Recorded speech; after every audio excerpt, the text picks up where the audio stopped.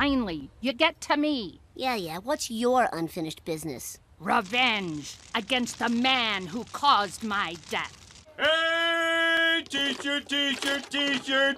Fire! Ooh, a bobby pin! Oh! You mean the guy who invented the t-shirt guns? No, The guys who built the stadium with a really low back wall? no, You? For standing up? No, your father, your stupid, stupid father. You know, some people grow when they die. Not you. See you guys. That was fun getting every answer in Jeopardy wrong. Hmm, all that saying goodbye really made me thirsty. Maud Flanders says hello. Hello.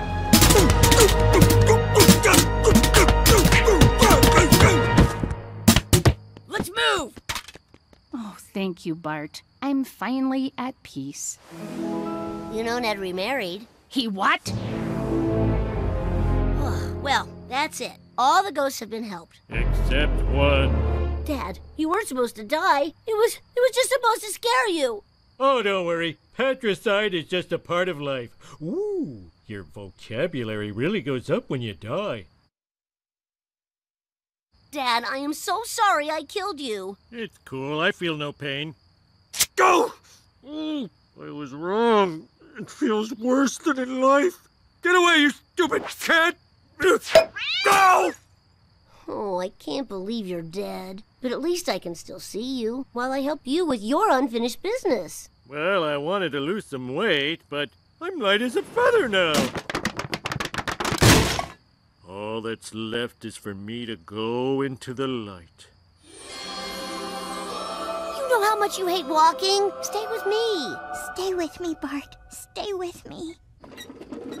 Oh, homie, it's not your fault. You were doomed when they started putting cheese into pizza crust. What's next? Plugging Swiss cheese with cookie dough?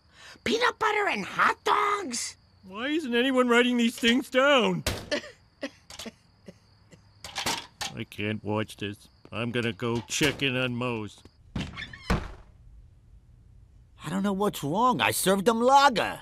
Uh-oh. I should go, son. I leave this world without a care, knowing I raised two great kids, plus the one who murdered me. No, Bart, you have to stay with me. No, Dad, you have to stay with me. No, my time has come. Man was not meant to live beyond the age of 39. You have to stay.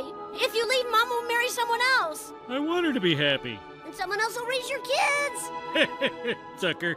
And someone else will ride your mower. That bastard! But still, it's time for me to move on. Oh my god, it's so beautiful!